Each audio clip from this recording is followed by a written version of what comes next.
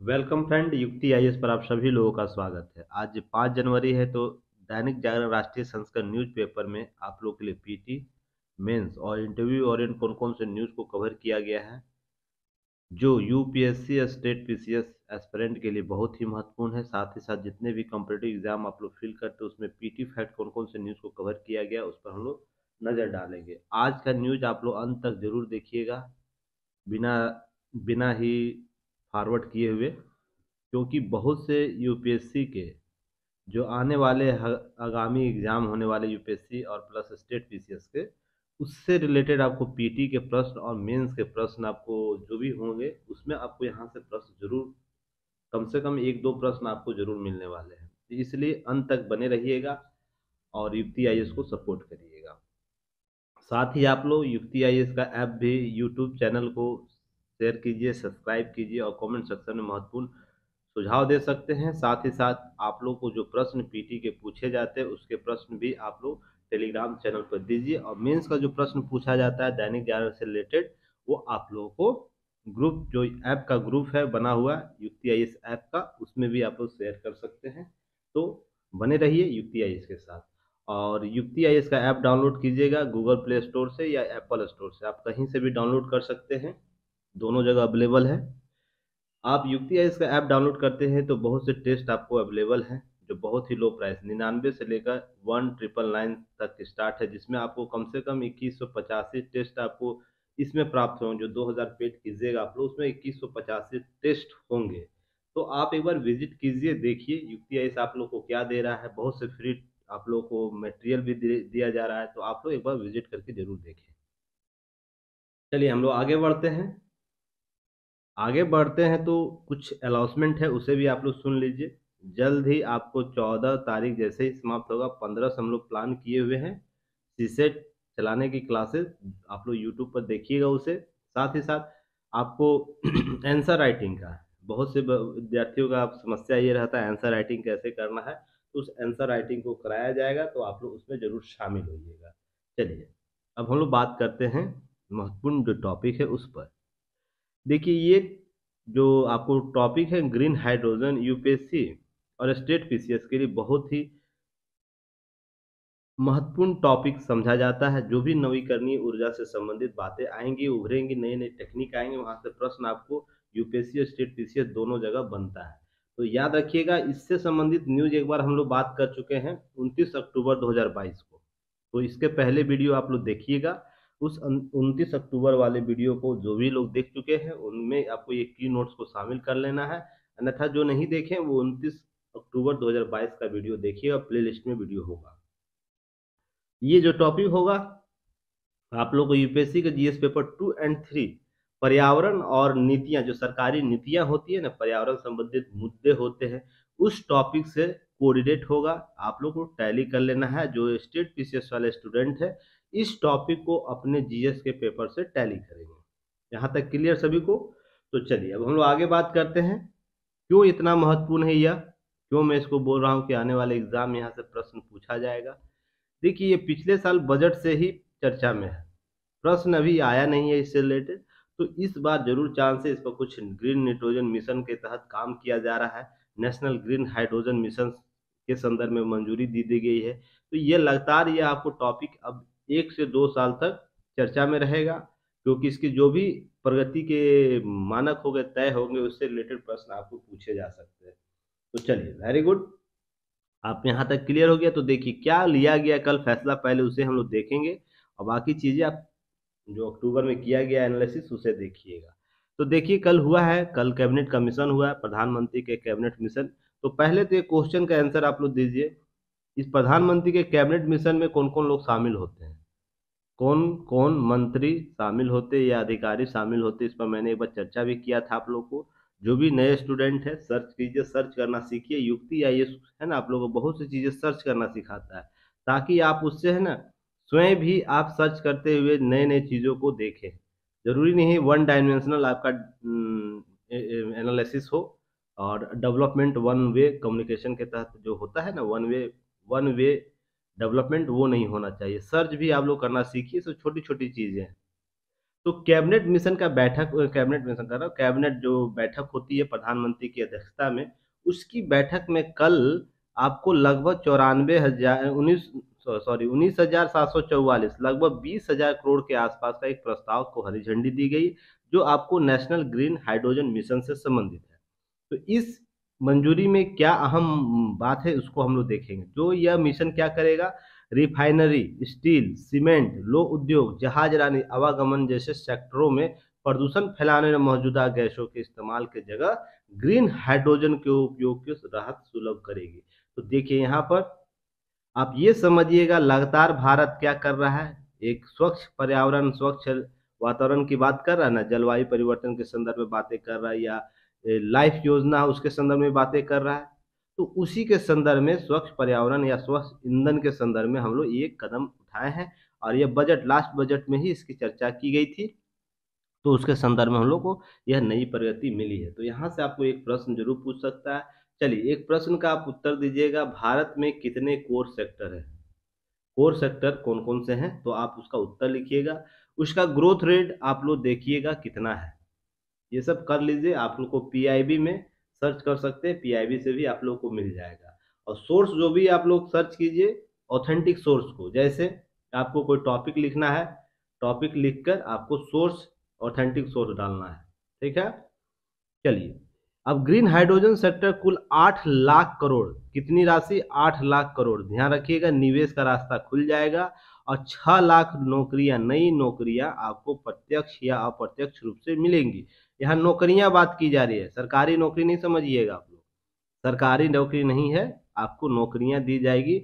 आपको प्रत्यक्ष या अप्रत्यक्ष रूप से छह लाख नौकरी क्योंकि इतना बड़ा डेवलपमेंट क्षेत्र होगा सोच सकते हैं, ये जो क्षेत्र दिखाया जा रहा है, उसमें यह नौकरियाँ सृजित होंगी। तो आपको यह प्रश्न पूछा जा सकता है, बताना भी होगा आप लोग को। केंद्रीय जो सूचना प्रसारण मंत्री हैं अनुराग ठाकुर जी, उनके द्वारा बताया गया है कि भारत जो प्रधानमंत्री थे 2070 तक नेट ज़ीरो उत्सर्जन का लक्ष्य रखे। इस पर हम लोग कितनी बार चर्चा कर चुके हैं। ये नेट ज़ीरो उत्सर्जन होता क्या है? आप लोग कमेंट सेक्शन में बताइएगा। पहला, आपको ये नेट ज़ीरो नेट ज़ीरो उत्सर्जन लक्ष्य क्या होता है? आपको यह बताना है, ठीक है? चलिए, इसके तहत क्या किया गया है कि 2030 के लिए बेहद महत्वाकांक्षी लक्ष्य रखे गए हैं। क्या लक्ष्य रखे गए? घरेलू स्तर पर 50 लाख टन आपको क्या करना हाइड्रोजन, ग्रीन हाइड्रोजन अर्थात पाँच million tonne MTPA million tonne आपको यह ग्रीन हाइड्रोजन का उत्पादन करना है। तो इसके लिए आठ लाख करोड़ रुपये का निवेश की आवश्यकता होगी। अगर हम इससे पाँच मिलियन टन की बात करेंगे ग्रीन हाइड्रोजन के लक्ष्य को प्राप्त करेंगे, उसके लिए क्या होगा? हमको आठ लाख करोड़ रुपया का इन्वेस्टमेंट करना पड़ेगा। सोच के देखिए, कितनी बड़ी राशि की बात हो रही है यहाँ पर। भारत एक लाख करोड़ रुपए का कम ईंधन की आयात करेगा इससे।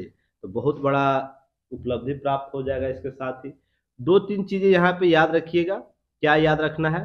जैसे आपको उद्योगों में जिस हाइड्रोजन का इस्तेमाल किया जाता है, वो ग्रे हाइड्रोजन कहलाता है। उसी तरह रिलायंस और अदानी जैसे दिग्गज कंपनियों ने भी ग्रे हाइड्रोजन को लेकर अपनी महत्वाकांक्षी योजनाएँ का ऐलान किया है तो ये सब आप लोग को याद रखना है कौन कौन से प्रगति। जब भी ग्रे हाइड्रोजन के बारे में या तो ग्रीन हाइड्रोजन के बारे में बात की जाए तो ये सब चीज़ें आप लोग को याद होनी चाहिए। जब भी मान लीजिए इससे प्रश्न पूछा जाएगा यूपीएससी के मेंस में या स्टेट पीसीएस के मेंस में, ये सब डाटा का यूज़ कीजिएगा, कौन सी कंपनी इसमें काम कर रही है। हालाँकि एक न्यूज़ और नीचे इस पर रिलेटेड हम लोग बात करेंगे अभी, टेंशन नहीं लेना आप लोगों को। विस्तृत रूप से हम लोग चर्चा करेंगे। इसी में ग्रीन हाइड्रोजन घरेलू मांग पैदा करने करने उत्पादन उत्पादन और निर्यात से संबंधित बढ़ावा देने के लिए इलेक्ट्रोलाइसिस का निर्माण कर, ग्रीन हाइड्रोजन का निर्माण के अलग प्रोत्साहन दिया जाएगा। इलेक्ट्रोलाइसिस कहा उसे जाता है जिसमें हम लोग यह हाइड्रोजन की प्रक्रिया, जो ग्रीन हाइड्रोजन की प्रक्रिया बनाएँगे। है ना? फ्यूल हम बहुत मानक से जल और हाइड्रोजन को अलग करेंगे उससे। तो हम लोग अभी बात करने वाले हैं उस पर आगे। अभी आराम से चीज़ों को समझिएगा। नीचे इससे रिलेटेड बहुत बेहतरीन आपको चीज़ों को कवर किया गया। थोड़ा सा नीचे हम लोग आएँगे और देखेंगे। वेट कीजिएगा, देखिए। अब मुझे नहीं लगता है ना, इससे ज़्यादा आपको ग्रीन हाइड्रोजन के बारे में तथ्यों की ज़रूरत होगी, डाटा की ज़रूरत यहाँ पर विस्तृत डाटा दिया हुआ, हर एंगल से डाटा दिया गया है। तो वैश्विक भूमिका के बीच तेज़ी से बढ़ते हुए ग्रीन हाइड्रोजन के कदम में भारत की भूमिका क्या है? अगर प्रश्न आपको मेंस में पूछ दे, भारत के द्वारा उठाए गए कदमों में ग्रीन हाइड्रोजन एक बेहतर हरित पर्यावरण को लेकर आएगा। उसके संदर्भ में भारत की रणनीति को स्पष्ट करे, वैश्विक भागीदारी को स्पष्ट करे तो इस टॉपिक को इससे बेहतर एक्सप्लेनेशन नहीं कर सकता है कोई पेपर इसलिए मैं बोलता हूँ कि हिंदी भाषी जो भी स्टूडेंट है ना, जो भी स्टूडेंट एस्पेरेंट है, या यूपीएससी दे रहे हो या स्टेट पी दे रहे हो, दैनिक जागरण मस्ट आप लोग देखिए। लोग यहाँ जनसत्ता की बात करते हैं ना तो जनसत्ता में इतने बेहतर तरीके से डाटा को कवर नहीं किया जाता है। बस आप लोग को ध्यान ये रखना है ना, पेपर को हम कैसे यूटिलाइज करें अपने एग्ज़ाम के लिए। अगर आप कोई भी पेपर आप पढ़ रहे हैं, आप लोकल पेपर भी पढ़ रहे हैं, उसको यूटिलाइजेशन आपको आना चाहिए। पर जहाँ तक सोर्स की बात है डाटा की बात है, उसमें सर्वश्रेष्ठ आपको दैनिक जागरण ही कवर करता है। इसलिए आप राष्ट्रीय संस्करण पेपर को ज़रूर देखिए, जो जिनको अवेलेबल होता है। नहीं तो आपको यहाँ पर अवेलेबल कराया जाता है तो आप लोग ज़रूर इसे भाग लीजिए, शामिल होइए। ठीक है? चलिए। तो अब हम लोग बात करते हैं। सबसे पहले देखिए कुछ कुछ चीज़ों को मैं स्पष्ट करूँगा। पहले तो आप लोग ये समझिए कि ग्रीन हाइड्रोजन और हाइड्रोजन में मूल अंतर क्या होता है। इसको समझिए तब ना हम लोग समझेंगे, आगे आगे की बात कहेंगे। पहले चीज़ों को हम लोग समझ लेते हैं। क्लास स्टार्ट हो गया क्या? जीएस कैप्सूल का ओके, एक सेकेंड। चलिए कमेंट कर रहे हैं, सभी लोग आए हैं तो वेलकम वेलकम। कोई बात नहीं, चलिए। चलिए, जल हाइड्रोजन और ऑक्सीजन में विभाजित कर हाइड्रोजन प्राप्त किया जाता है। देखिए, जल से जो जल को हाइड्रोजन और ऑक्सीजन को अलग कर दिया जाता है तो जो एच ओ टू है एच टू जानते हैं, जल का सूत्र जो रासायनिक सूत्र होता है लोग हम लोग बहुत बचपन में पढ़े हैं, हम लोग सभी लोग। इसमें हाइड्रोजन और ऑक्सीजन को अलग कर दिया जाता है तो उससे हाइड्रोजन, आपको ग्रीन हाइड्रोजन प्राप्त होता है। यह प्रक्रिया इलेक्ट्रोलाइजर, देखिए, इलेक्ट्रो, इलेक्ट्रोलाइजर में संपन्न किया जाता है, अर्थात जो जल एच टू ओ से अलग करने की जो प्रक्रिया होगी एक मशीन मान लीजिए आप उस जो प्रक्रिया इस मशीन में पूरा किया जाएगा उसे इलेक्ट्रोलाइजर कहा जाता है। तो, तो पीटी फैक्ट में आपसे प्रश्न पूछा जा सकता है कि इलेक्ट्रोलाइजर किससे संबंधित इलेक्ट्रोलाइजर किससे संबंधित है? तो आपको क्या कहना है कि ग्रीन हाइड्रोजन की प्रक्रिया से संबंधित या जल से अगर हम ग्रीन हाइड्रोजन प्राप्त करेंगे उसकी एक प्रक्रिया इसमें निभाई जाती है। तो ये आप लोग को याद रखना है। और इस प्रक्रिया में जीवाश्म ईंधन आधारित ऊर्जा का प्रयोग होता है, उत्पाद के रूप में आपको हाइड्रोजन प्राप्त होता है। यदि नवीकरणीय सौर ऊर्जा की बात की जाए, ऊर्जा का प्रयोग किया जाए तो बनने वाले हाइड्रोजन ग्रीन कहलाती है। देखिए, नवीकरणीय ऊर्जा का प्रयोग किया जाए तो बनने वाले हाइड्रोजन ग्रीन हाइड्रोजन कहलाएगी, क्योंकि यह इसमें तनिक भी कार्बन का उत्सर्जन नहीं होता है, कार्बन पार्टिकल्स का उत्सर्जन नहीं होता है। तो ये सब चीज़ें हम लोग को समझना होगा। एक सेकेंड होल्ड कीजिएगा, ताकि मैं एक बार फिर से रिव्यू ले लूँ कि क्लास स्टार्ट हो गया या नहीं हुआ है। चलिए।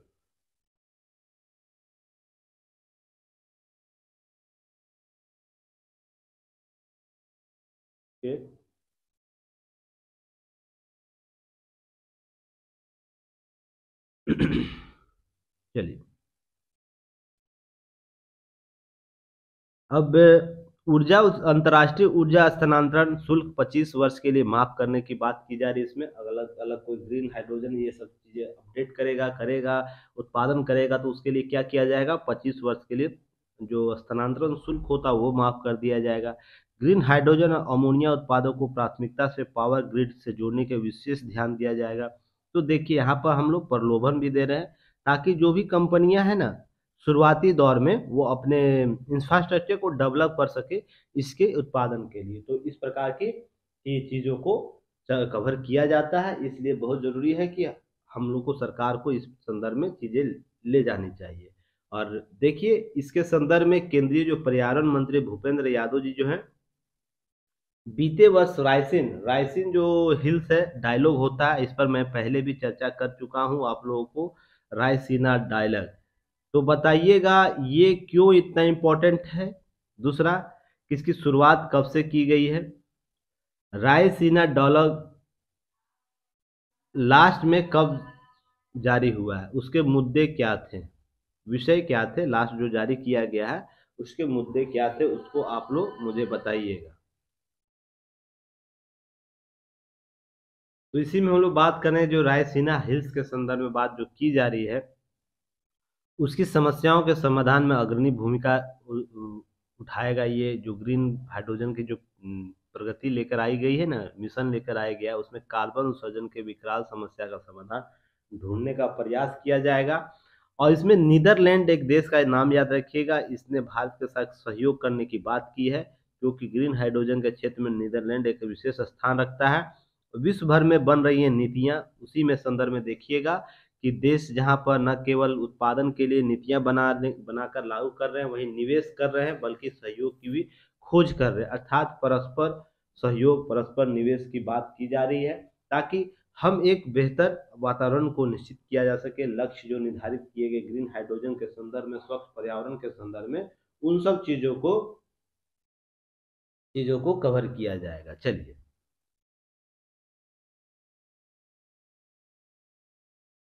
इसी क्रम में देखिए बीते वर्ष नीदरलैंड ने एक प्रस्ताव दिया था भारत को जिसके अनुसार भारत में यूरोप के लिए ग्रीन हाइड्रोजन निर्यात हब बनने की संभावना है। नीदरलैंड के जलवायु दूत जो जलवायु दूत हैं प्रिंस जेमी डी बर, बर्बन डी पार्मे याद नाम रखिएगा इनको अगर याद कर सकिएगा आप लोग तो। या तो डी पार्मे याद रखिएगा इससे भी काम चल जाएगा। या जेमी डी नाम याद रखिएगा प्रिंस जेमी भी आप याद कर सकते किसी भी तरीके से इनका नाम याद रखना। है इनके द्वारा ये कथन कहा गया था, दोनों देश अर्थात नीदरलैंड और भारत ग्रीन हाइड्रोजन के व्यापार में समृद्ध करने की क्षमता है, क्योंकि इस प्रकार से भारत एक बहुत बड़ा वृहद व्यापार क्षेत्र है और वो इसमें उन्नत तरीके से चीज़ों को कवर कर रहा है। तो चलिए इन सब चीज़ों को हम लोग देखेंगे। इसी में देखिए एक बात और भी है, अंतर्राष्ट्रीय पहचान बनाने में लगा हुआ है भारत, जिसमें बेंगलुरु वैश्विक कंपनी जो है होमियम उसने इंटरनेशनल ने क्या किया है कि एक संयंत्र स्थापित किया है बंगलुरु में, जहाँ पर भारत की पहले ग्रीन हाइड्रोजन इलेक्ट्रोलाइजर गोट गीगा फैक्ट्री की स्थापना किया था, जिस पर आप लोग को डीसीए में और पहले जो 28 अक्टूबर का दैनिक जागरण न्यूज़ एनालिसिस किया गया था, उस पर चर्चा किया गया था। तो ठीक है, यहाँ तक क्लियर सभी को? किसी प्रकार का कोई दिक्कत नहीं है चलिए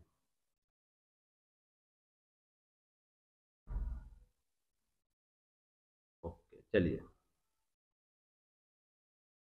अब देखिए, ग्लासगो में कुछ बातें की गई थी, जिस पर मैंने चर्चा भी किया था पहले के न्यूज़ में कि कोप ट्वेंटी सिक्स ग्लासगो सम्मेलन है, वहाँ पर भारत के जो प्रधानमंत्री हैं, उनके द्वारा क्या किया गया है कि भारत के नेट ज़ीरो उत्सर्जन का देश बनाने के लिए प्रतिबद्धता सरकारी और निजी उपक्रम के उपयोगिता की बात की गई थी।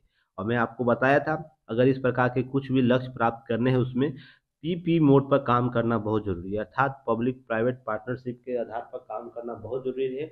नहीं तो चीज़ें आपको प्राप्त नहीं होंगी। क्योंकि नए नए नवाचार आपको कर, प्राप्त करने होंगे। बहुत से इंफ्रास्ट्रक्चर डेवलप करना होगा तो सहयोग बहुत ज़रूरी है। साथ ही दो तीन चीज़ आंकड़े रखिएगा। इंडियन ऑयल जो कॉपरेशन है तो भारत में एक क्वेश्चन बताइए भारत में नवरत्न कंपनियाँ कौन कौन सी है? ठीक सॉरी नवरत्न नहीं महारत्न कंपनियाँ। भारत में महारत्न कंपनियाँ कौन कौन सी है?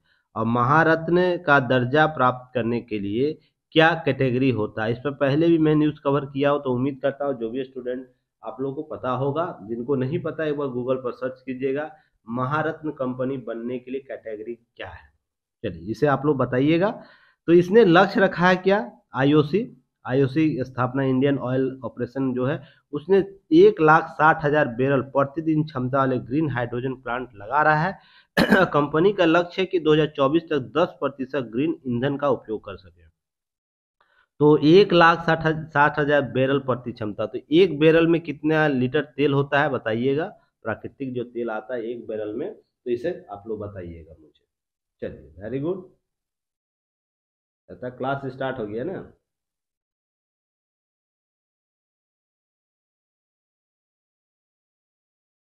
चलिए वेरी गुड क्लास स्टार्ट हो गई है। उसका भी टेंशन हमको देखना पड़ता है ना, इसलिए क्या कीजिएगा। Gas Authority of India Limited याद रखिएगा, इसमें 10 मेगावाट ग्रीन हाइड्रोजन प्लांट लगाने की भी बात की गई है। एनटीपीसी गुजरात में 4.7 गीगावाट का एक अन्य आपको मेगा प्रोजेक्ट चल रहा है, उसे भी याद रखिएगा। कहीं अगर पूछे तो आप लोग को छुटना नहीं चाहिए। इनके साथ उपयोग हो सकता है कहाँ कहाँ इसका उपयोग किया जा सकता है? हाइड्रोजन का ग्रीन हाइड्रोजन का। तो वाहनों में किया जा सकता है, घरेलू उपयोग में किया जा सकता है पोर्टेबल पावर सोर्स में किया जा सकता है जिस तरह हम लोग पावर सोर्स करते हैं बैटरी उटी करते हैं, उसी तरह इसका भी पोर्टेबल पावर सोर्स भी हम लोग कर सकते हैं। साथ ही रसायन लो स्टील हीटिंग उद्योगों में इसका उपयोग किया जा सकता है। तो अगर प्रश्न पूछ दे तो आपको इस सब में टेंशन नहीं लेना है। निजी क्षेत्र का भूमिका क्या है, इसे भी आप लोग देख लीजिए। गुजरात के जामनगर में रिलायंस इंडस्ट्री बड़ा ग्रीन प्लांट बना रही है, जिसमें 600 अरब रुपये का पाँच हज़ार एकड़ में बनेगा। और कंपनी अपने कार्यों के लिए जीवाश्म ईंधन के बजाय हाइड्रोजन का उपयोग करेगी। तो ध्यान रखिएगा, आने वाले कुछ समय में बहुत सी निजी कंपनियाँ जो है, वो भी अपना ग्रीन प्रोजेक्ट पूरा कर लेगी, जिसके बाद हम लोग इन सब चीज़ों को कवर कर सकेंगे। अदानी समूह भी मायर टेलीमोन्ट जो टेक्निमोन्ट है, इनके साथ मिलकर ग्रीन हाइड्रोजन उत्पादों का कदम बढ़ा रहा है और राजस्थान में ए एस एम ई जो समूह है, उसके ग्रीन हाइड्रोजन अमोनिया प्रोजेक्ट लगा रहा है। तो ये सब चीज़ें आपको ईंधन ग्रीन कंपनी ग्रीन ईंधन के लिए पंद्रह अरब रुपये का निवेश कर रही है। सोच के देखिएगा, जो लांसन है, प्रमुख कंपनी लार्सन एंड ट्रूबो, जो एल एन टी जिसमें बोला जाता है हमको, बोला जाता है उसके इक्टलाइजर उत्पादन की योजना बना रहा है और ये सब पंद्रह अरब निवेश कर सकता तो देखिए, कुल मिला के यहाँ बात यह है ना कि देखिए, एक डाटा और याद रखिएगा यहाँ पर। ऊर्जा एवं संसाधन संस्थान जो टेरी है, उसकी रिपोर्ट के अनुसार 2020 में भारत हाइड्रोजन मांग में 60 लाख टन प्रतिवर्ष होगी। अनुमान है कि 2030 तक हाइड्रोजन की कीमत में करे जो कीमत है वो आधी हो जाएगी। मान लीजिए अभी पाँच सौ रुपया दे रहा है पर लीटर तो अभी मान लीजिए उस समय आधी ढाई सौ रुपये हो जाएगी 2030 तक, पर इतना रेट नहीं होता है। मैं एक आंकड़ा बता रहा हूँ आपको। तो यहाँ पर अब ध्यान देने वाली बात है, इससे क्या होगा टोटल इन सब आंकड़ों को बेहतर तरीके से आप लोग कवर कीजिएगा। जितना भी चीज़ दिया 160 अरब डॉलर के सर्वाधिक विदेशी मुद्रा प्रतिवर्ष भारत ऊर्जा आयात कर, पर व्यय करता है, जो इससे हम लोग निजात मिलेगा। साथ ही साथ 3.6 गीगा टन कार्बन उत्सर्जन जो है, कार्बन डाइऑक्साइड उत्सर्जन भारत कम कर सकेगा इस लक्ष्य को प्राप्त कर जो ग्रीन हाइड्रोजन प्रोजेक्ट है, उसको अगर सफल बनाता है तो 500 गीगावाट नवीकरणीय ऊर्जा उत्पादन भारत व भारत प्रतिवर्ष तीन दो तक लक्ष्य तय करेगा। ये सब चीज़ें आपको प्राप्त होंगी। ध्यान रखिएगा, ये आंकड़े आपके लिए इम्पोर्टेंट है तो इसे यूज़ कीजिएगा। अब हम लोग बात करते हैं इससे प्राप्त क्या होगा भारत को। अब सबसे बड़ा सवाल है ना, इससे प्राप्त क्या होगा? क्यों सरकार को इतनी चीज़ें करनी पड़ रही है? तो जो आंकड़े दिए गए हैं उसके साथ तालमेल आप लोग कीजिएगा। जैसे भारत में इसके जो जीवाश्म ईंधन के जो लक्ष्य रखा है समाप्ति के लिए, और जो हम पर्यावरणीय या जो नवीकरणीय ऊर्जा का उपयोग करेंगे, उसको लक्ष्य में प्राप्त करने के लिए सहयोग का काम करेगा। साथ ही साथ पी आई एल योजना के तहत बहुत से ऐसे कार्य निधि किए गए हैं, जिसमें हमको अवसंरचना निर्माण के लिए ज़रूरी है कि हम कम ईंधन, अर्थात कम कम मूल्य की लागत पर ईंधन प्राप्त करें तो इसके लिए भी यह ग्रीन हाइड्रोजन काम करेगा। साथ ही साथ, भारत में इंफ्रास्ट्रक्चर को डेवलप करने में ग्रीन प्रोजेक्ट बहुत महत्वपूर्ण काम करेगा। देखिए, एक प्रोजेक्ट का निर्माण करने से है ना, बहुत से इसके अम्ब्रेला योजना के रूप में देखा जाता है, इससे अन्य भी सेक्टर डेवलप होते हैं, रोज़गार क्रिएट होगा। तो सोच के लिए कितने बड़े रोज़गार के सेक्टर डेवलप होंगे, आपको आंकड़ा भी दिया गया था। तीसरा ये आपको चौथा इसका एक महत्वपूर्ण कारण हो सकता है, एक ये भी कारण आप मान के रहिए। हम अंतर्राष्ट्रीय रूप से बेहतर संयोजक के रूप में काम कर सकते हैं कि लक्ष्य प्राप्ति करने के लिए। अभी कल ही मैंने आप लोगों को डाटा दिया था ना, बताया था कि भारत लक्ष्य से, जो टारगेट लक्ष्य उससे पहले अपने लक्ष्य को प्राप्त कर रहा है। तो अंतर्राष्ट्रीय स्तर पर भारत को ना, एक जिम्मेवार राष्ट्र के तौर पर जाने जाने लगेगा। इसलिए मैं कुछ दिन पहले से ही बोल रहा हूँ कि लगातार भारत उस दिशा में बढ़ रहा है। जहाँ पर रिस्पॉन्सिबिलिटी सबसे इंपॉर्टेंट तथ्य हो जाता है। तो आप लोग को ध्यान रखना है, ग्रीन हाइड्रोजन प्रोजेक्ट के तौर पर कभी भी प्रश्न पूछे तो मेंस में तो इन सब चीज़ों का लाभ क्या होगा? ग्रीन हाइड्रोजन जो मिशन है, नेशनल ग्रीन हाइड्रोजन मिशन, उसमें जो ग्रीन प्रोजेक्ट लगाया जा रहा है, हब बनाया जाने का प्रयास जो किया जा रहा है, उससे भारत के लाभ केवल आर्थिक ही नहीं होने वाले हैं। आपको राजनीतिक भी लाभ होने वाले हैं, सामाजिक लाभ भी होने वाले हैं और हमें अंतर्राष्ट्रीय रूप से जो ख्याति प्राप्त होगी, उसमें भी हमको लाभ प्राप्त होने वाला है। तो ध्यान रखिएगा, आपको क्या करना है, इसके बहुत डायमेंशनल चीज़ों को कवर करना है, जो मैं आपको पॉइंट वाइट कवर किया हूँ, ठीक है? चलिए, नेक्स्ट हम लोग बात करेंगे। देखिए, तलाकशुदा मुस्लिम महिला पूर्व पति से जीवन भर गुजारा भत्ता पाने के हकदार है, आपको इलाहाबाद हाईकोर्ट के द्वारा कहा गया। यह क्यों आपके लिए इम्पोर्टेंट हो जाता है, खासकर उन मुस्लिम महिलाओं के लिए?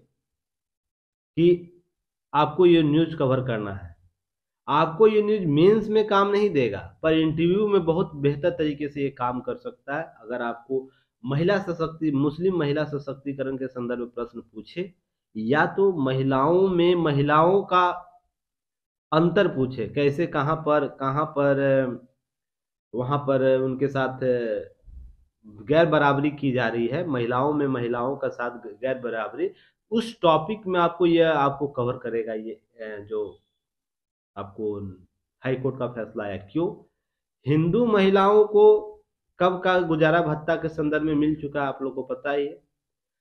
आज तक, देखिए, आज इसकी चीज़ों को लेकर बातें चर्चा हो रही है मुस्लिम महिलाओं में कि कोर्ट को, संस्थाओं को और एजेंसियों को ये लग रहा है कि नहीं, इसे गुजारा भत्ता देना चाहिए। आपको कब तक देना चाहिए? जीवन भर गुजारा भत्ता। जब तक उसकी मृत्यु नहीं हो जाती है, तब तक देना है। मृत्यु मतलब प्राकृतिक मृत्यु और इस प्रकार से चीज़ों को कवर करता है। तो ये देखिए, यहाँ पर एक कोर्ट का देखिए वर्डिक है ना, उसमें कुछ बातें की गई। उससे आप लोग ज़रूर समझिए। जो मैं लगातार आप लोगों को बोलता था ना, कि वर्तमान समय में कुरान जो है, उसकी गलत व्याख्याओं को प्रस्तुतिकरण अधिक ज़ोर शोर से किया जा रहा है। आज जो ज्ञानी जो नहीं भी है, अर्थात मुस्लिम जो वक्ता है, वो बेहतर ज्ञानी भी नहीं है, अर्थात कुरान को संदर्भित जो चीज़ों को लेकर अभी वर्तमान संदर्भ में समझा नहीं पाते हैं, केवल बेतुकी बातों को संदर्भ में कुरान का प्रस्तुतिकरण कर रहे हैं। उसके संदर्भ में एक सुप्रीम कोर्ट के द्वारा बहुत स्पष्ट और एक महीन रेखा आपको खींची आज। है आज इसको समझने की ज़रूरत है और सभी लोग मुस्लिम जो हैं, वो इस लाइन को ज़रूर याद रखिएगा समझिएगा, तुलना कीजिएगा, क्या ये इनके द्वारा बोला गया है। कि पवित्र कुरान जो शरीफ है, कुरान शरीफ है, सोहर पर तलाक के बाद अपनी पूर्व पत्नी का ख्याल रखने का आदेश देता है। देता है? पर वर्तमान में चीज़ें क्या हो रही थी? देता तो है।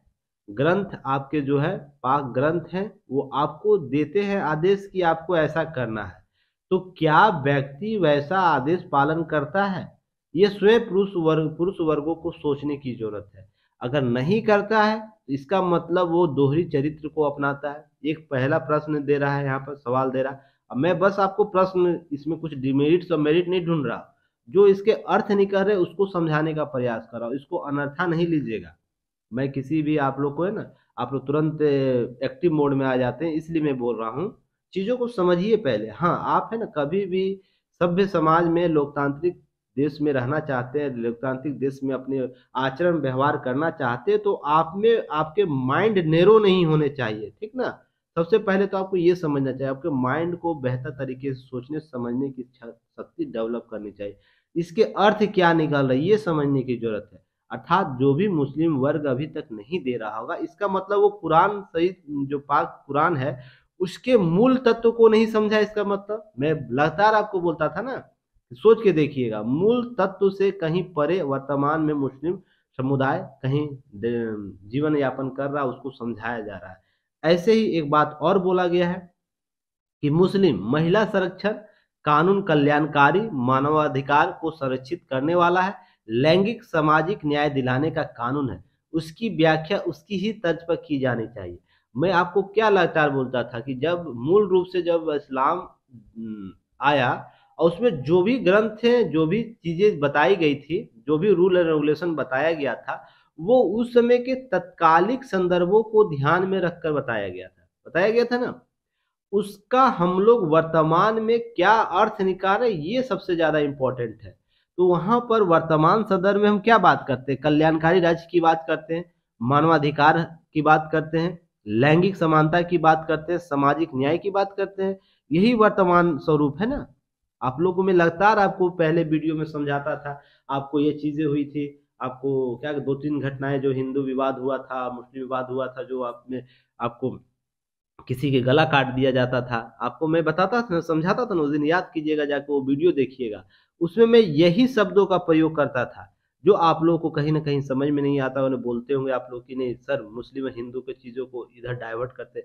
मेरा मूल उद्देश्य वो नहीं, मेरा मूल उद्देश्य यह है कि जो भी चीज़ें की जा रही हैं या की गई हैं, उसका वर्तमान स्वरूप में क्या व्याख्या हो सकता है? मैं बस यही बताना चाहता था देखिए आज जो हाई कोर्ट है, उन्होंने वही शब्दों का पुनरावृत्ति किया जो मैं आपको उनके संदर्भ में बताता था कि वर्तमान में क्या तथ्य है? वर्तमान में हम लोग कल्याणकारी राज्य की बात करते हैं, मानवाधिकारों की बात करते हैं, परस्पर संरक्षण की बात करते हैं, लैंगिक समानता, सामाजिक न्याय की बात करते हैं। तो यहाँ पर प्रश्न यह सबसे बड़ा उठता है, जब हम इसकी बात करते हैं तो क्या कुरान शरीफ के जो मूल तत्व हैं, उसको हम लोग आज के संदर्भ में समझने का प्रयास कर रहे हैं? अगर कुछ बातें की जा रही है तो उसको पहले आज के संदर्भ में समझिए। जो दो ढाई हज़ार साल पहले जो चीज़ें थी, उसको अगर अभी थोपने का प्रयास कीजिएगा, अभी चीज़ों को उसके उसके संदर्भ में इंटरप्रेट करने की कोशिश कीजिएगा तो समस्याएँ यहीं उत्पन्न होगा। आपको कोई भी बातें करनी है तो उसकी मौलिकता को रखिए ध्यान में। मौलिकता को ध्यान में रखता है, इसके मूल तत्व तो कुछ होंगे ना। अब मैंने मैंने पूरा कुरान नहीं पढ़ा हूँ, फिर भी मैं इतना तो समझ सकता हूँ ना। कुछ उसके मूल तत्व तो होंगे, कुछ मूल तत्व था जैसे जैसे हमारे संविधान के कुछ मूल तत्व है ना, मूल ढांचा है है ना, मूल ढांचा। तो वैसे भी कुरान के कुछ मूल ढांचा होंगे, उसको हम लोग को उन्नत करने की ज़रूरत है, जिसमें एक इस कॉन्सेप्ट को समझने की ज़रूरत है। तो आपसे कभी भी प्रश्न पूछेगा जो भी मुस्लिम कैंडिडेट हैं या हिंदू जो भी हैं, सिख, ईसाई जो भी हैं, किसी भी जात, धर्म, पंथ से वर्ग रखते हैं, अगर किसी भी, मान लीजिए हिंदू ग्रंथ के बारे में बात करता है, इस तथ्य को आप लोग ज़रूर नोटिफाई कीजिएगा कि जितने भी पवित्र ग्रंथ ग्रंथ है, वो गीता हो, रामायण हो, कुरान हो, या तो आपको सिख लोगों का, ईसाई लोगों का, जैन धर्म लोगों का सभी का मूल तत्व यही छिपा हुआ है। आपको इसे हम लोग जितना जल्दी समझ सकेंगे उस चीज़ों को हम लोग को समझने की ज़रूरत है। चलिए, अब ये बात हो गया, दूसरा चीज़ यहाँ पर ये बात करना है कि मुस्लिम महिला तलाक अधिकार संरक्षण कानून उन्नीस सौ छियासी की धारा तीन दो के तहत तलाक शुदा महिला को अपने पूर्व सोहर से गुजारा भत्ता के लिए मजिस्ट्रेट के समक्ष अर्जी दाखिल करनी पड़ती थी। और यह जो मामला था, देखिए जाहिद खातून का मामला था, जिसमें परिवार जो न्यायालय होता है फैमिली कोर्ट होता है, गाजीपुर ने केवल इद्दत की अवधि, अब इद्दत की अवधि में जो गुजारा भत्ता की बात की जाती है, एक सेकेंड रुक जाइएगा थोड़ा सा। थोड़ा सा थोड़ा सा, जी, अब हो गया सही। इस गुजारा भत्ता दिलाने का आदेश दिया, जिसे हाईकोर्ट ने खारिज करते हुए बोला कि आपको क्या करना होगा? जिस तरह के अन्य लोगों को प्राप्त होता, अन्य महिलाओं को गुजारा भत्ता पाने का अधिकार है जीवन भर वैसे ही आप इसको देने का, मुस्लिम महिलाओं को भी देने की बात की गई है। तो यहाँ पर दो तीन चीज़ सवाल आप लोगों को स्वयं से पूछना चाहिए। पहला सवाल, जो महिलाएँ हैं या पुरुष है हम बात करते हैं तुष्टिकरण की राजनीति में। मैं जो बातें कह रहा हूँ स्पष्ट शब्दों में बोलता हूँ, उसको समझने की ज़रूरत है, उस पर विवाद खड़ा करने की ज़रूरत नहीं है। तुष्टिकरण की राजनीति में हमने अन्य धर्मों के अधिकारों की तो व्याख्या बहुत बेहतर तरीके से की है। होनी भी चाहिए, व्याख्या होनी भी चाहिए। क्या तुष्टिकरण की राजनीति में क्या हमने मुस्लिम वर्गों की महिलाओं के अधिकारों की रक्षा की बात उतने ज़ोर शोर से की जितने अन्य वर्गों के लिए करते हैं? तो सबसे पहला सवाल है उन सोसाइटी के बुद्धिजीवी लोगों का कि इस प्रकार की दोहरी नीति क्यों चरित्र लेकर आते हैं? ये समझने की ज़रूरत है। आपको यहाँ से प्रश्न पूछा जा सकता दूसरा, खासकर मुस्लिम महिलाओं में मुस्लिम वर्गों से, मुस्लिम महिलाओं से भी पूछा जाता है कि आपकी वास्तविकता, वास्तविक पहचान किस चीज़ों से है? आप किस चीज़ों से अपना पहचान बनाना चाहते हैं? आप उस तरीके से कि आपके ही वर्ग में आपके कुछ लोगों के द्वारा आपको दबलित कुचित किया जा रहा है, इस संदर्भ में देखना चाहते हैं, या आप अपने धर्मों में उन मूल तत्वों के आधार पर अपनी पहचान बनाना चाहते हैं, जिसका, इसका सार है, अर्थात लोक कल्याणकारी है, सामाजिक न्याय है और लैंगिक समानता उसके आधार पर।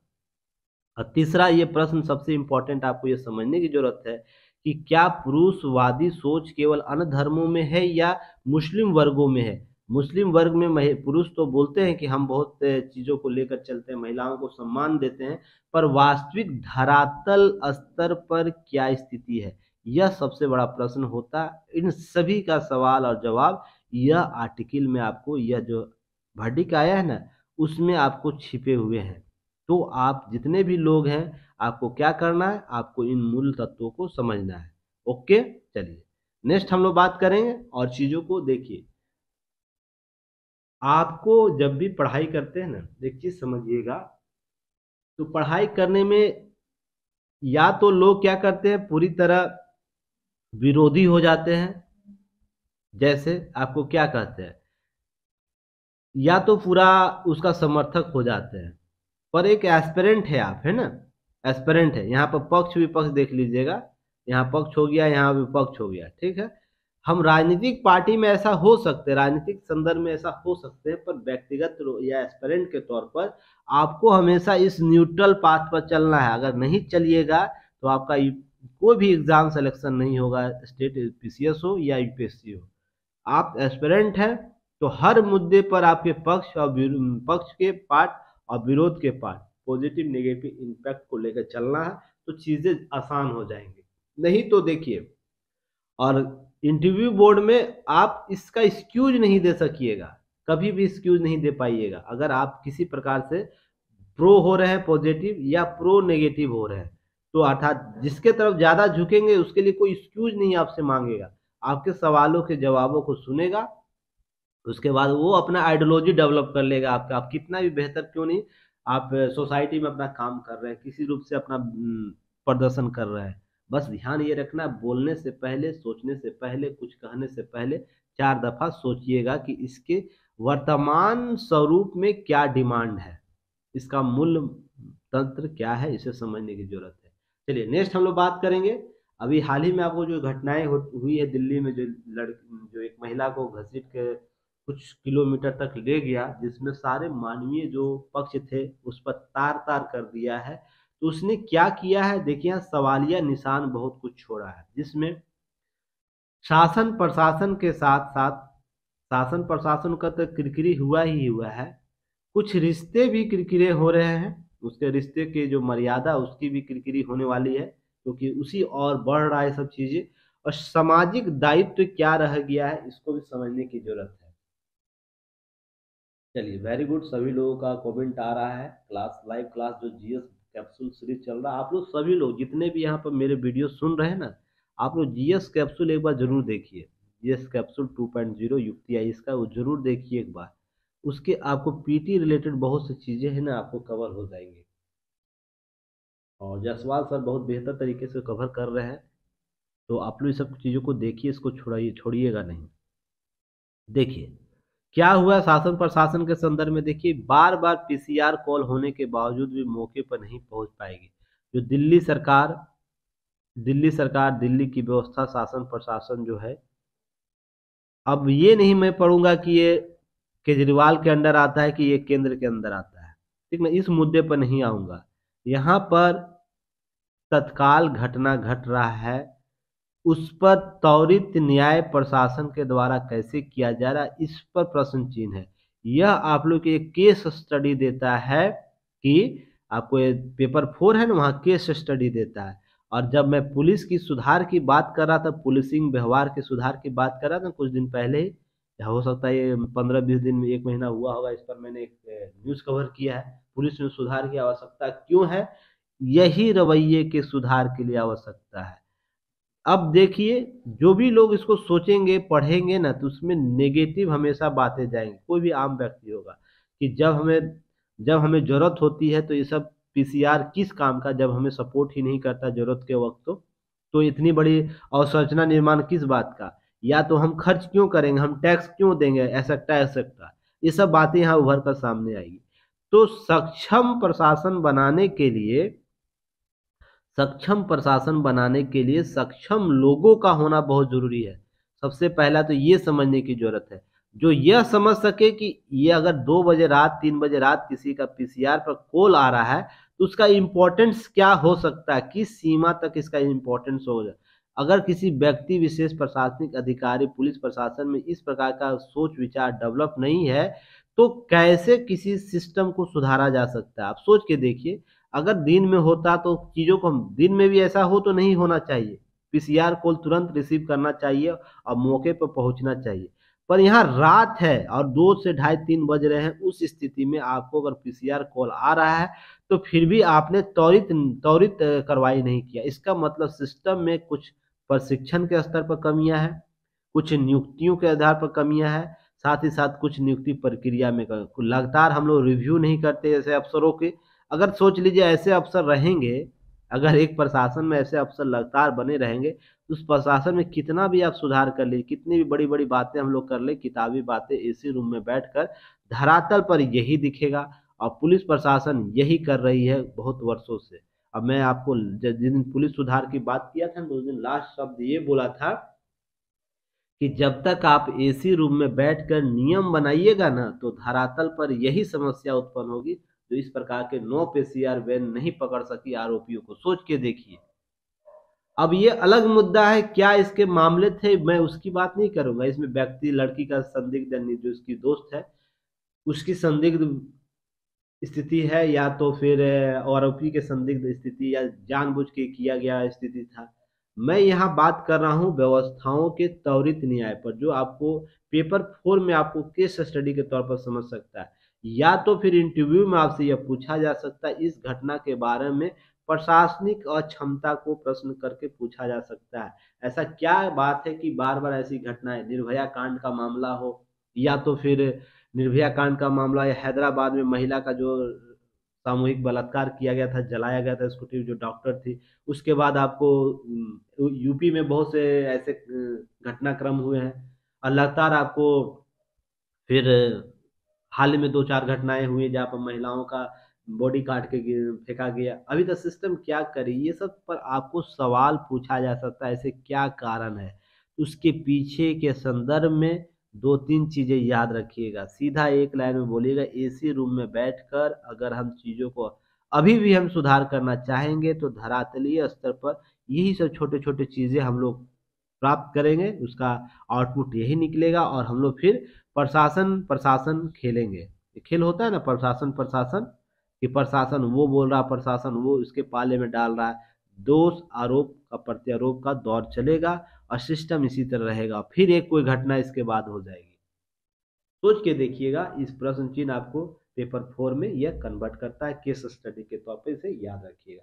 क्लियर अगर स्टेट पीसीएस वाले स्टूडेंट है वो भी अपने इंटरव्यू के लिए इस चीज़ को तैयार करके रखिएगा कि प्रश्न ऐसे आपको पूछे जा सकते हैं। या तो कभी भी इस प्रकार के प्रश्न पूछे, जब पुलिस सुधार की बात की जाए तो ये सबको केस स्टडी के तौर पर यूज़ कीजिए। उदाहरण के तौर पर यूज़ किया अगर हम सुधार नहीं करेंगे, जो बातें हम, मैंने बोला है, जिस संदर्भ में आपको समझाया पुलिसिंग सुधार के बारे में पहले के वीडियो में, उसके संदर्भ में अगर हम ऐसे नहीं सुधार करेंगे तो उसका धरातलीय स्तर पर परिणाम ऐसे ही भुगतने को पड़ेगा। कि सिस्टम में हम लाखों करोड़ रुपया लगा देंगे तो सिस्टम रवैया ऐसा रहेगा आज तक सुनिए, कोई भी पुलिस के मुँह से आप लोग बिना गाली के बातें सुनते हैं। कोई भी सभ्य समाज का परिवार होगा, अगर वो अपने भाई, बहन, बेटी के साथ बैठ के जा रहा है तो गाली गलौज से बात करता है। उसको इतनी समझ नहीं, तनिक समझ नहीं कि अगर परिवार के साथ छोटी बच्ची है, छोटे बच्चे उसके सामने गाली गलौज से बात, उसके मानसिक जीवन पर कैसा प्रभाव पड़ेगा? यहाँ तक की समझ नहीं है। छोटे से मान लीजिए आप रोड क्रॉस कर जाते हैं, थोड़ा सा तो गाली गलौज करना शुरू कर देता बात यहाँ क्रॉस के नियम की नहीं बात व्यवहार में जब तक व्यवहार आप चेंज नहीं कीजिएगा, प्रशासन ठीक नहीं होगा। तो सोच के देखिए कहाँ हम लोग दोस्त कर रहे हैं तो इसको केस स्टडी के तौर पर आप यूज़ कर सकते हैं। चलिए नेक्स्ट हम लोग बात करेंगे। अब हम लोग बात करने वाले हैं, किस पर बात करने वाले, देखिए। हाल ही में पंजाब और हरियाणा को लेकर सतलुज नदी पर लिंग योजना को लेकर जल विवाद चल रहा है। नहर निर्माण के संदर्भ में, हाल ही में नदी जल बंटवारे के संदर्भ में हरियाणा की बैठक चल रही है, दौर चल रहा है। तो देखिए, यहाँ पर बातें की जाएगी कि इसके न्यूज़ को आप लोग को देख लेना है। सॉरी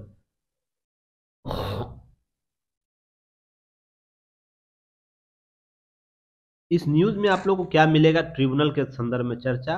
यमुना लिंक योजना क्या है, इसके संदर्भ में विवाद क्या है, सभी को आप लोग को इस न्यूज़ से देख लेना है। उसके बाद हम लोग चर्चा करेंगे इसके सब पार्ट पर, ठीक ना? कि कैसे यह सब लिंक ज़रूरी है कि उन्नीस सौ इक्यासी में यह नदी जल विवाद शुरू हुआ था तैचे पंजाब हरियाणा के मामले में, और नदी जल विवाद क्या है, इस पर हम लोग चर्चा करेंगे, ठीक है? चलिए। इसमें सबसे पहले आप लोग को याद रखना है, यह टॉपिक आपको यूपीएससी के जीएस पेपर टू में न्यायाधिकरण या नदी जल विवाद से संबंधित टॉपिक को कवर करता है। चलिए तो भारत में कई नदी, नदियाँ ऐसी हैं जहाँ पर जल विवाद, जल बंटवारे को लेकर कई राज्यों में विवाद है। तो कुछ नदी जल विवाद हम लोग देखेंगे, उसके बाद आप लोग को याद रखना है। रावी और ब्यास जल विवाद याद रखिएगा, नदी जल विवाद। पंजाब, हरियाणा हरियाणा लिखा गया, हरियाणा, राजस्थान याद रखिएगा। कावेरी नदी जल विवाद केरला, केरल, कर्नाटक और तमिलनाडु, पुदुचेरी, नर्मदा जल नदी जल विवाद, मध्य प्रदेश, गुजरात महाराष्ट्र, राजस्थान के बीच विवाद है। कृष्णा नदी जल विवाद, महाराष्ट्र, आंध्र प्रदेश, कर्नाटक, तेलंगाना के बीच। गोदावरी नदी जल विवाद, महाराष्ट्र, आंध्र प्रदेश, कर्नाटक, मध्य प्रदेश और उड़ीसा के बीच। और महानदी जल विवाद है। महानदी छत्तीसगढ़, उड़ीसा, पेरियार नदी जल विवाद है, तमिलनाडु, केरल और महादई जल विवाद है, गुजरात सॉरी गोवा, महाराष्ट्र और कर्नाटक के बीच। तो इतने नदी जल विवाद भारत में है और भी लगभग 25 से 26 नदी जल विवाद आपको भारत में है, छोटे बड़े सभी मिलाकर। पर महत्वपूर्ण नदी जल विवाद बंटवारा आपको अर्थात नदियों के जल का बंटवारा, मान लीजिए उससे नीचे तक जो नदियाँ बह रही है, मान लीजिए एक सेकेंड ये इंडिया है, इंडिया में ऊपर से नीचे तक जल, जो ऊपरी स्तर से नीचे की ओर बढ़ कर जा रही है जल, फिर जैसे नदी जल विवाद है ऐसे नदी जल विवाद है तो इसमें राज्यों के जलों के बंटवारे के लिए दो या दो से अधिक राज्यों के बीच जो जल के बंटवारे से संबंधित विवाद बार बार आते हैं, उस पर आपको ये टॉपिक आपको बहुत इंपॉर्टेंट यहाँ से प्रश्न यूपीएससी ने लगातार पूछा है पीसीएस ने भी पूछा है तो ये सब चीज़ों को कवर करना अब संवैधानिक प्रावधान क्या इसे हम लोग देखेंगे। तो भारतीय संविधान के अनुच्छेद दो सौ बासठ के अंतर्गत अंतर्राज्यीय जल विवाद निपटारे हेतु प्रावधान किया गया संविधान के भाग आपको ग्यारह में आएगा यह, दो अनुच्छेद तो इसे याद रखना है। अब नोट याद रखना है, दो तीन चीज़ें याद रखना है। अनुच्छेद दो सौ बासठ दो अंतर्गत उच्चतम न्यायालय को इस मामले में न्यायिक पूर्वालोकन या सुनवाई का अधिकार से वंचित किया गया, अर्थात संसद इस पर सॉवलेंट स्थिति बनाए हुए। तो मैंने आप लोगों को जब पढ़ाया था न्यायपालिका, विधायिका के बीच विवाद तो उसमें सॉवलेंट स्थिति में नदी जल विवाद की भी चर्चा की थी। पॉलिटिक क्लास में कवर किया, जिनको याद होगा, वो याद रखे होंगे। यह कि नेक्स्ट दो सौ बासठ के तहत जो भाग ग्यारह के तहत केंद्र राज्य संबंधों को स्पष्ट करता है। तो भाग ग्यारह क्या करता है? केंद्र राज्य संबंधों को, जिसमें क्या करता है? दो सौ बासठ में आपको नदी, जल विवाद बंटवारे को लेकर न्यायाधिकरण की भी चर्चा करता है। तो ये चीज़ याद रखना है। अभी तक दो सौ बासठ के तहत अंतर्राज्यीय जल विवाद सुलझाने के लिए दो अधिनियम अब तक लाए गए, जिसमें नदी, जल नदी बोर्ड अधिनियम उन्नीस सौ छप्पन और अंतर्राज्यीय नदी जल अधिनियम उन्नीस याद रखिएगा, इसको याद रखिएगा, नदी बोर्ड उन्नीस के तहत क्या किया गया अंतर्राज्यीय नदी नदी घाटियों के नियमन और विकास के लिए केंद्र सरकार द्वारा नदी बोर्डों की स्थापना का प्रावधान करता है। उन्हें सलाह देने से संबंधित राज्य सरकारों के अनुरोध पर एक नदी बोर्ड की स्थापना की जाएगी। दो तीन चीज़ें याद रखिएगा। केंद्र सरकार नियुक्ति करेगी इसकी।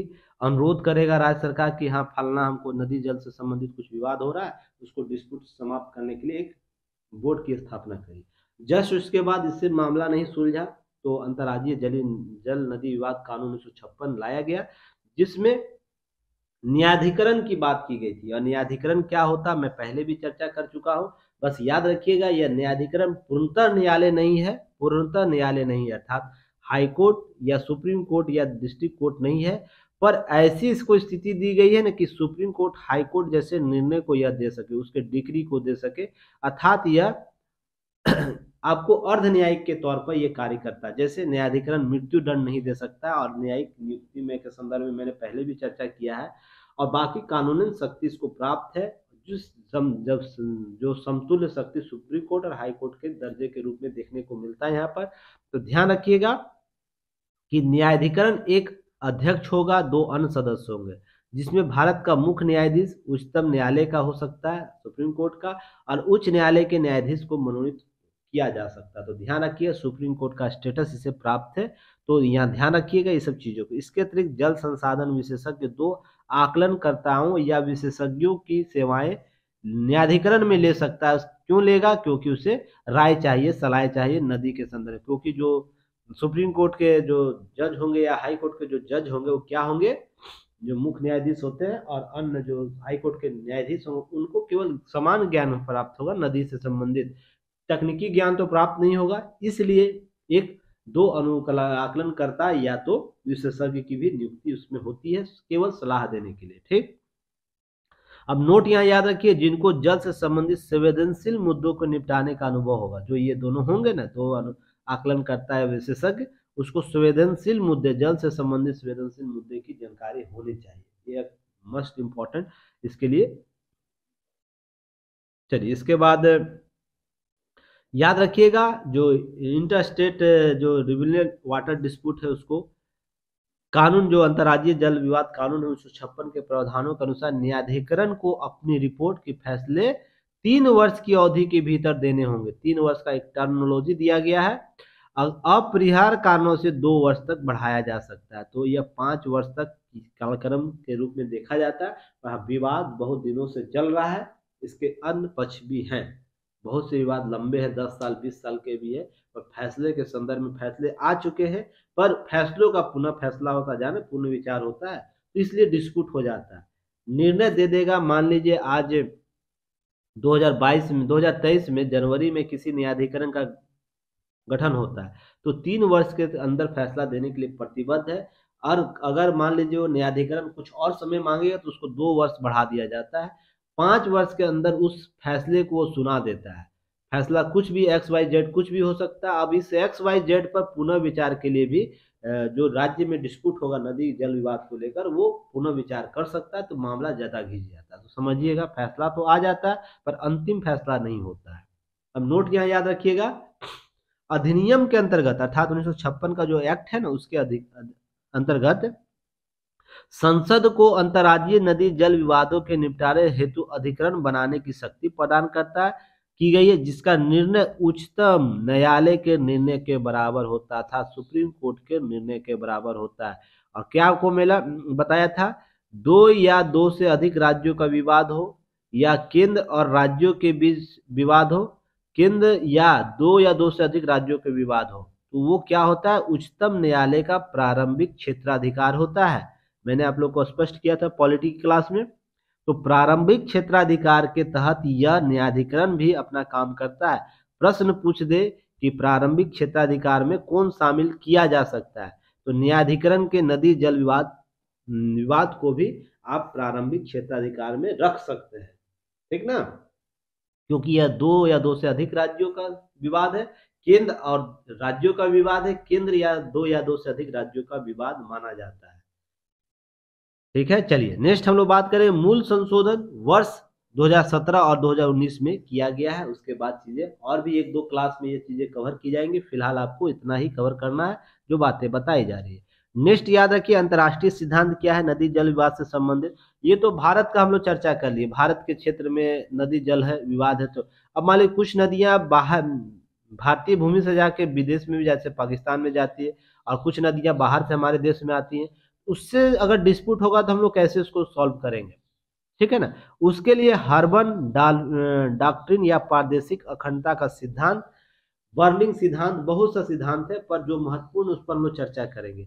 अठारह याद रखिएगा, इस सिद्धांत का मुख्यतः ऊपरी तटीय प्रदेशों या देशों या राज्यों के लिए प्रादेशिक संप्रभुता होने की बात करता अर्थात, मान लीजिए इंडिया है, यहाँ पाकिस्तान है पाकिस्तान है ना यहाँ?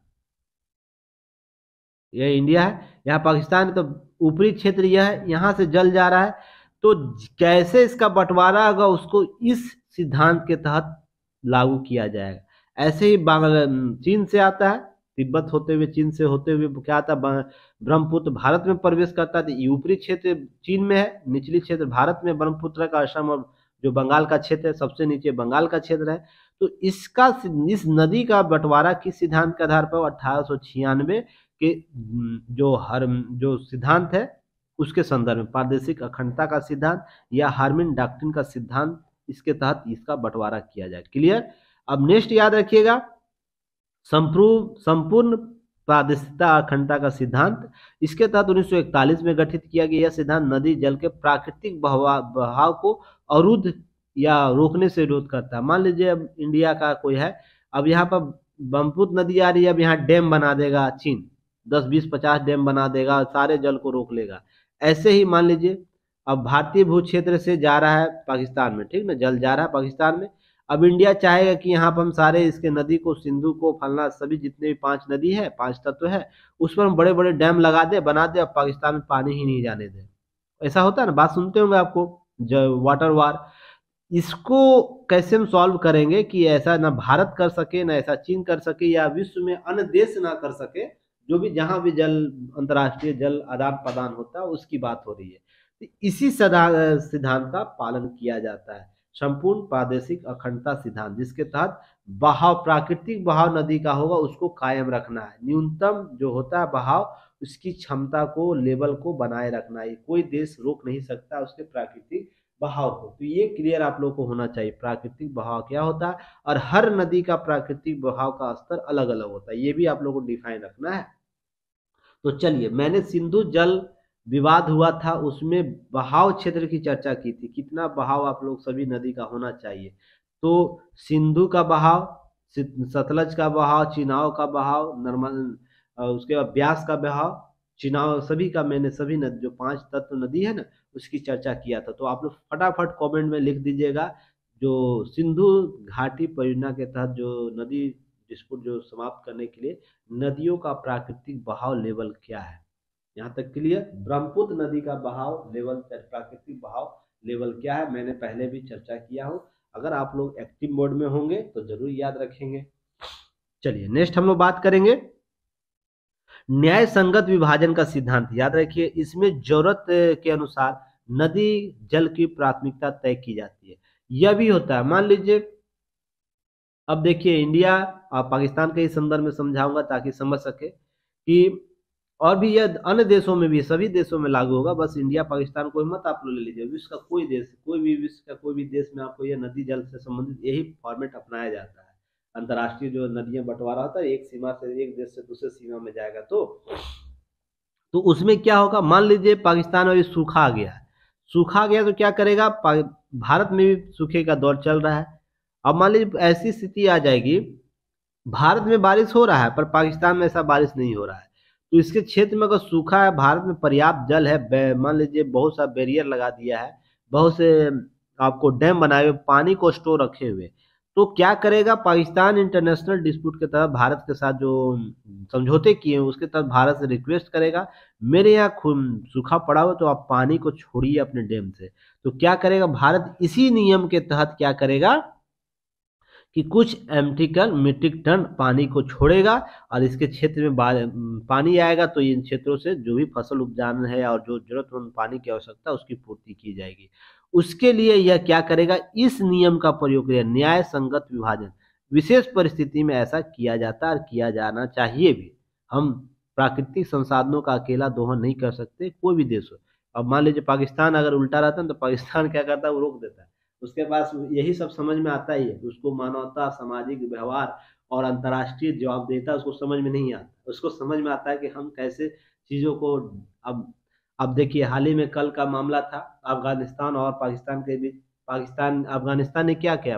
अफ़गानिस्तान ने एक पोस्टर दिखा के पाकिस्तान को धमकाया है। क्या बोला है कि उन्नीस सौ इकहत्तर में जो आप लोग समझो, समझौता किए थे ना, मेरे डिस्प्यूट क्षेत्र में आइएगा तो वही हाल हम लोग भी करेंगे। तो सोच लिए अब अफ़गानिस्तान के तरफ़ से भी पिटाने वाले हैं, इंडिया के तरफ़ से भी पिटाने वाले हैं। तो ये समझिए कि ऐसी स्थिति में ये देश आ गया है। इसको सहचर्य, जीवन सहचर्य सहचर्य, जीवन सहचर्य राजनीति आता ही नहीं है। कि हम अपने आसपास के भू क्षेत्रों को थोड़ा डिस्प्यूट से कम बचा कर रखें ताकि आम जनता उसका लाभ ले सके। इसलिए मैं ये बात बोल रहा हूँ याद आ गया, नहीं तो चीज़ें आपको, मैं ये सब चीज़ें नहीं बोलता हूँ। सब देश की अपनी अपनी प्राथमिकताएँ हैं। अब देखिए यहाँ पर एक बात याद रखिएगा कि भारत में सिंधु, कृष्णा, गोदावरी नदियों का बंटवारा इसी आधार पर किया गया। न्याय संगत विभाजन। सिंधु नदी है, सिंधु नदी पाकिस्तान के साथ है ना? कृष्णा और गोदावरी नदी। इस बंटवारा इसी के संदर्भ में किया गया है कि आवश्यकता के अनुसार जो ज़रूरत है, प्राथमिकता के आधार पर नदियों का बंटवारा किया गया है। नदी में जल का बंटवारा किया गया, नदियों का नहीं, जल का बंटवारा किया गया। अब परिमति क्षेत्रीय संपूर्णता अधिकार याद रखिएगा, उन्नीस सौ को। नया सिद्धांत है, इसमें नदी जल बहाव के समस्त तटीय देशों, नदियों का समान अधिकार होगा। नदी के जो भी बहाव क्षेत्र है, उसके समस्त तटीय क्षेत्र, बहाव अर्थात राज्यों का, नदियों का समान अधिकार होगा, इस सिद्धांत के तहत। जैसे, अब इंडिया में देख लीजिए, इंडिया का उदाहरण देता ताकि आसान से समझिएगा। यहाँ जो भी नदियाँ आ रही इधर सिंधु और उसके सहायक नदियाँ ब्रह्मपुत्र उसकी सहायक नदियाँ भारत में अन्य बहुत से नदियाँ उसमें। जितने राज्य से संबंधित है वो भी इस नियम से लागू कर सकते हैं। अंतर्राष्ट्रीय जो कानून है अंतर्राष्ट्रीय जो नदियाँ हैं वो भी आपको इस परिणति क्षेत्रीय संपूर्णता का सम्मान करते हैं जहाँ पर सभी नदियों का सभी के साथ समान व्यवहार होता है। जितना हक कर्नाटक होगा इस नदी पर कृष्णा नदी पर उतना ही केरल का ए, आपको आंध्र प्रदेश के भी होगा। जिस तरह गंगा का जितना हक यूपी का है, उत्तराखंड का उतना हक बिहार और पश्चिम बंगाल का भी है।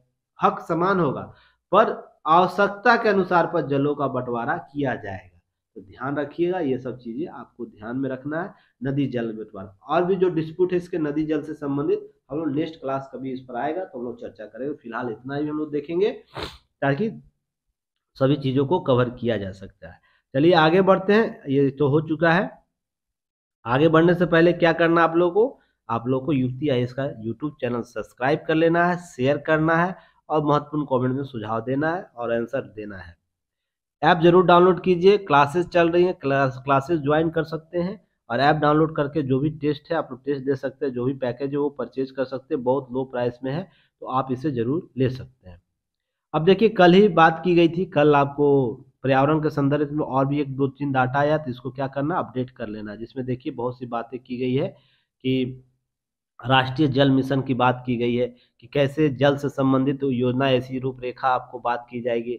कल पर्यावरण पर आप देखिए, मैंने आपको क्या बोला, अभी दस से पंद्रह दिन आप लोग को भी है ना की पॉइंट के चक्कर में मत रहिएगा। अभी इतना देगा दैनिक जागरण आपको डाटा ना, आप उसको ही लिख लीजिएगा ना, उससे ही आपका आंसर इंप्रूवमेंट हो जाएगा आंसर लिखने की स्थिति में आ जाएगा। बस उसकी व्याख्या सुन लीजिए, किसको कहाँ यूज़ करना है, ठीक है ना? तो ये ये देखिए, नदी जल योजना से संबंधित योजनाओं के संदर्भ में बात करता है। अड़तालीस, चार प्रतिशत हिस्सेदारी पृथ्वी पर जल उपलब्ध के स्वच्छ जल स्रोतों में भारत का है। तो ये सब प्रश्न आपको एग्ज़ाम पीटी में पूछेगा मेंस में आपको इसको यूज़ करना है। हमें जल संपन्न देश बनाता है। दो प्रतिशत भूभाग विश्व के कुल क्षेत्र भारत के पास है, देश के कुल क्षेत्रफल three point two eight lakh वर्ग किलोमीटर है। तो ध्यान रखिएगा यहाँ पर। अठारह प्रतिशत हिस्सेदारी वैश्विक जनसंख्या में भारत की है। बड़ी आबादी कारण हमारे जल की आवश्यकता अधिक है। मवेशी, जो पंद्रह प्रतिशत मवेशी है, विश्व के कुल मवेशी भारत में पाए जाते हैं, जिनके लिए जल चाहिए। तो यह भी आपको एक डाटा देता है। उठाए गए कदम क्या क्या है हाल ही में? जल से संबंधित राष्ट्रीय जल मिशन के तहत आपको जल के संरक्षण, अपव्यय और भी जो चीज़ें हैं, उसके लिए किया गया है। भारत टेप पहल किया गया, पानी के कम खपत वाले सैनिटरी वेयर के प्रयोग को बढ़ावा दिया गया, टपकन जो रेनवेज का इन्वेस्टिंग किया गया, ये सब चीज़ें, योजनाएँ लाई गई है। लगभग सैंतालीस सौ शहरों, शहरी योजनाओं के लिए, स्थानीय इकाइयों के लिए क्या किया गया? सभी घरों में पानी की आपूर्ति मतलब सौ प्रतिशत कवरेज प्रदान करने का लक्ष्य स्टार्टअप और उद्यमी प्रोत्साहित किया जा रहा है। जल जीवन संबंधित मुद्दों के लिए निपटारा, जल शक्ति मंत्रालय का गठन किया गया। जल शक्ति जीवन मिशन के तहत 2024 तक सभी ग्रामीण परिवारों के पाइपलाइन माध्यम से पानी उपलब्ध कराने। तो यहाँ पे एक प्रश्न का उत्तर दीजिए, हंड्रेड परसेंट। प्रथम गाँव कौन सा है जो जल मिशन के तहत लक्ष्य प्राप्त कर लिया है? प्रथम जिला कौन है जो हंड्रेड परसेंट लक्ष्य को प्राप्त किया है? और सौ परसेंट कौन सा ऐसा राज्य है जहाँ पर जल मिशन के तहत प्रत्येक घर में पाइपलाइन पहुँचा दी गई है? तो आप इसका उत्तर दीजिएगा, बताइएगा। चलिए नेक्स्ट हम लोग बात करेंगे। इसी में स्वच्छ गंगा मिशन की बात की गई। कुल प्रोजेक्ट के तहत चार चार सौ आठ है, पूर्ण किया गया, दो सौ अट्ठाईस, तेरह टेंडर प्रक्रिया में एक सौ बत्तीस योजना पर कार्य हो रहा है। ये सब आंकड़े दीजिएगा, दस point eight point six crore से अधिक परिवार को देश में शुद्ध जल की आपूर्ति की जा रही है। उनचालीस स्वच्छ गंगा अभियान योजनाओं के तहत दो हज़ार तेईस में उत्तर प्रदेश के काम हो रहा है और यह देश का सर्वाधिक संख्या रखता है। चौबीस स्वच्छ गंगा अभियान के बिहार में काम किया जा रहा है। और उत्तराखंड में आपको और बंगाल में पंद्रह पंद्रह योजनाएँ तो सबसे ज़्यादा उत्तर प्रदेश में, क्योंकि गंगा जाने स्वच्छ परियोजना में सबसे ज़्यादा स्थान उत्तर प्रदेश है तो उनचालीस योजनाएँ चौबीस बिहार में पंद्रह पंद्रह वेस्ट बंगाल, उत्तराखंड में। तो इस तरह आपको इसके वर्गीकरण को भी, जल मिशन के वर्गीकरण को समझना चाहिए। ये सब डाटा है ना, एकदम लिख लीजिए। कहीं भी पुट किया जा सकता है, और इसका यूटिलाइजेशन अब मैं सिखा दिया हूँ आप लोग कैसे करना है। बस आप क्षमता रखता है, कितना कितना लोग इसको एक्सप्लेन करता है। देखिए, कठिन दौर कैसे रहा, आगामी बजट का, यह आपको चर्चा का विषय बनाता है, इस पर आपको प्रश्न प्रश्न नहीं होगा, पर आगामी जो बजट की रूपरेखा, उसको आपको समझने में काम देगा। जिसमें ये बातें की गई है, की गई है सॉरी थोड़ा सा हिचकी लग रहा है, पता नहीं क्या सुबह सुबह कौन याद कर रहा है मुझे। इसमें भारत के समक्ष जो बजट की चुनौती है वह मुद्रा स्फीति, वैश्विक स्थिरता, या तो जो भी हाल के घटनाक्रम है, उसको कितने राजकोषीय घाटे के संदर्भ में बातें की जा रही है, उसको तस्वीर को प्रस्तुत करता है। कल्याणकारी योजनाओं का क्या निरंतर गति मिलेगा, इस पर प्रश्नों को उभरता है। तो इस आर्टिकल को आपको देखिएगा, आगामी बजट के संदर्भ में। ये जो बजट आने वाला है ना, फरवरी में होगा ना, उसके लिए चालू वित्त वर्ष में जीडीपी नॉर्मल जो वृद्धि है, पंद्रह प्रतिशत रहने का अनुमान है। अगले वित्त वर्ष में यह घटकर दस पॉइंट फाइव प्रतिशत से ग्यारह प्रतिशत के दायरे में रह सकता है। अर्थ यह है कि राजस्व वृद्धि में कुछ सुस्ती आएगी। अर्थात भारत में राजस्व वृद्धि कम होगी, जिससे जो खुले हाथ से खर्च किए की गुंजाइश घट जाएगी, अर्थात लोगों के पास पैसा घट जाएगा, अर्थात इन्वेस्ट नहीं करेंगे इन्वेस्ट नहीं करेंगे तो वस्तुओं का प्रोडक्शन कम होगा। ये राजस्व जो राज्य को प्राप्त होने वाला है आय प्राप्त होने कहीं ना कहीं कम होगा। इसके संदर्भ में बातें की जा रही है। नेक्स्ट है इसी में, आपको उर्वरक और ईंधन की सब्सिडी के प्रश्न को भी बहुत इंपॉर्टेंट है। आप लोग क्वेश्चन बताइएगा कि भारत में जो सब्सिडी दी जाती है, तीन पर सबसे ज़्यादा होता है।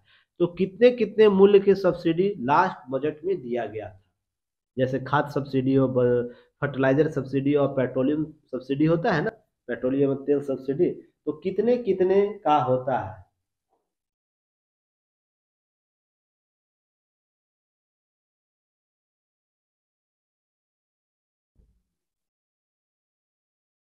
चलिए।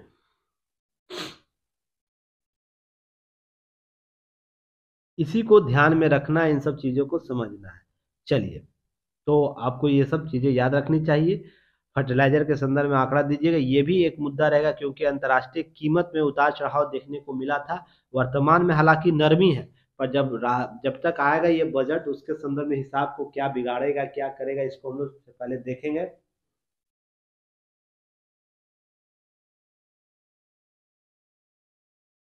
ओके।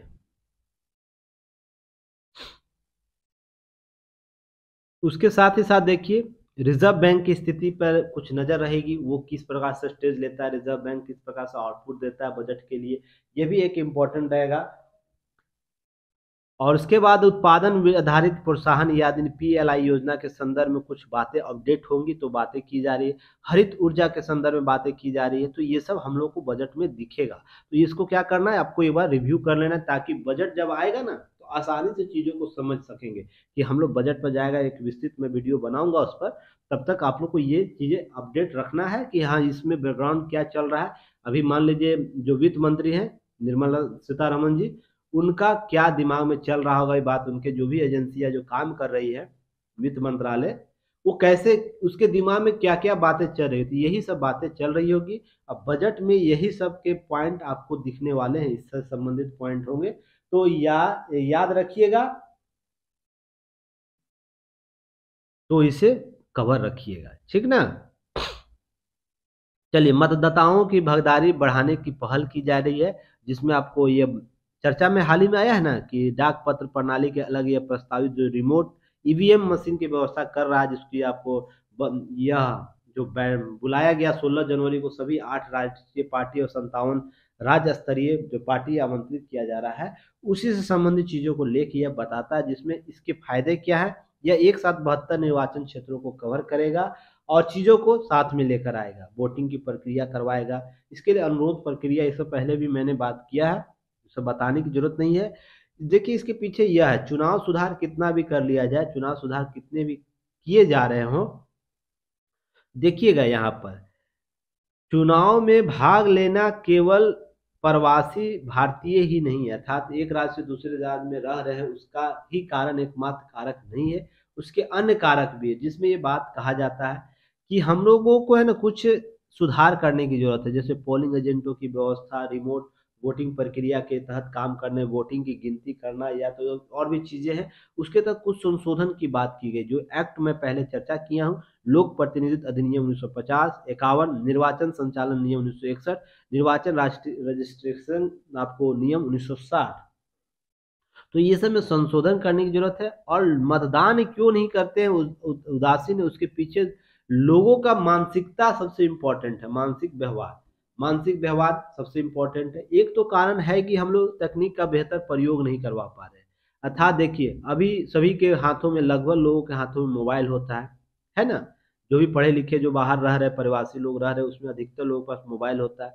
तो एक हम लोग ये भी तो कर सकते हैं कि ऐसा ऐप डेवलपमेंट करवा सकते हैं, जिस पर उस माध्यम से हम लोग वोटिंग कर सकते हैं अपने क्षेत्र में। ऐसा तो हो सकता है ना?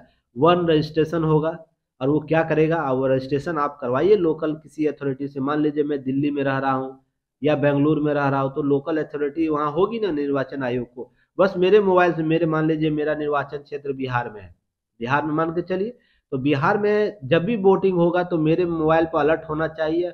अब मेरा मोबाइल जहाँ भी जीपीएस शो कर रहा है, वहाँ के सक्षम व्यक्ति जो होंगे, निर्वाचन अधिकारी होंगे, मुझसे कांटेक्ट कर सकते हैं। या मैसेज मुझे ड्रॉप कर सकता है कि हाँ इस नंबर पर आप कॉन्टैक्ट करके अपने वोटिंग के लिए रजिस्ट्रेशन करवा लीजिए। और सिंपल प्रक्रिया होना चाहिए, कोई जटिल प्रक्रिया नहीं होनी चाहिए, जिसमें अनपढ़ भी आदमी आप इस चीज़ को लाभ ले सके। तो ध्यान रखिएगा, तकनीक का बेहतर प्रयोग न हो पाना भी हम लोग एक कारक है कि हम मतदान बेहतर नहीं करवा पा रहे जो प्रतिशत है, वो कम हो रहा दूसरा, लोगों की उदासीनता है। उस दिन लोग, वोट जिस दिन होता है, लोगों को काम याद रहता है या छुट्टी लोग मनाते हैं, और भी चीज़ें करते तो ये सब चीज़ें आपको अवकाश के संदर्भ में देखता है लोग, अवसर को। तो ये सब चीज़ें आपको ध्यान रखनी है बैकग्राउंड में। और आज इन आर्टिकल में ऐसा बोला गया है कि आज के जो आर्टिकल जो लिखे हैं, उनके द्वारा बोला जा रहा है कि आज विश्व में तीस से अधिक देश अनिवार्य वोटिंग का मतदान कानून बनाए तो भारत को भी ऐसा करना चाहिए। इसमें लोकतंत्र सफल होगा, इसकी भागीदारी एक बेहतर जनहित सरकार का गठन किया जा सकता है। पर मैं इससे कुछ डिफर करता हूँ कि अनिवार्य वोटिंग उन देशों में अनिवार्य रूप से लागू की जा सकती है जहाँ पर साक्षरता दर और साक्षर लोगों की संख्या में विस्तृत हो, अधिक हो, जहाँ पर लोग जवाबदेही के चीज़ों को समझ सकते हो। क्या भारत में ऐसे वर्ग हैं जो अपनी जवाबदेहिता को समझते हो नैतिकता के आधार पर। यहाँ पर जो प्रशासनिक अधिकारी है, या तो नेता है, या तो कोई भी अधिकारी, विधायक, प्रशासनिक डीएम, पीएम, सीएम, किसी का भी नाम ले लीजिए, पद के लिए तो वो बने हुए हैं, पर जवाबदेही कितना है लोगों के प्रति, नैतिक जिम्मेवारी कितना लोग समझते हैं, ये इंपॉर्टेंट ये अंतर है। पर जो भी देश में अनिवार्य वोटिंग का लागू किया गया, वहाँ पर जाकर देखिएगा, नैतिकता का स्तर व्यवहार में नहीं, अपने कार्य में नहीं कार्यों के साथ साथ व्यवहार में भी झलकता है। तो इसलिए वहाँ पर अनिवार्य वोटिंग की प्रक्रिया सफल होती है। नहीं तो भारत में अगर लगा देंगे ना, अभी हम लोग अनिवार्य प्रवृत्ति तो अभी पार्टियों में ही विरोध शुरू हो जाएगा।